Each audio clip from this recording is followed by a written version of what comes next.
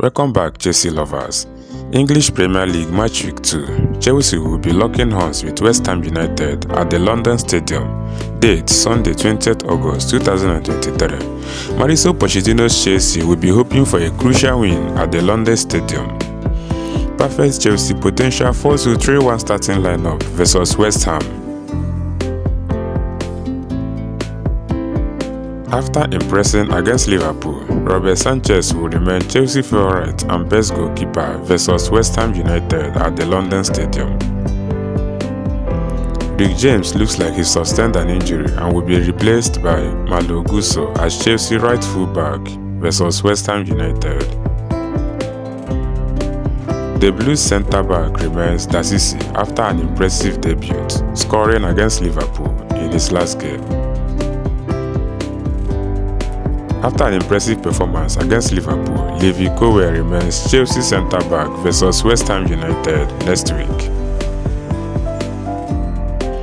The Blues favourite and best left full-back remains Ben Chilwell versus West Ham United.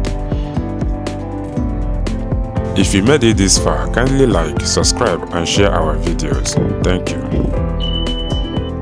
Moisés Caicedo could start against West Ham United after signing for Chelsea.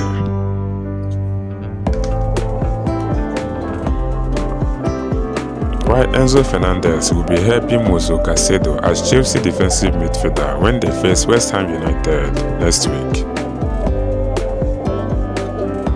Conor Gallagher will play the role of an attacking midfielder as Christopher Nkunku is injured. In the left wing role, Mykhailo Mudryk will be playing that position on match week 2 versus West Ham United.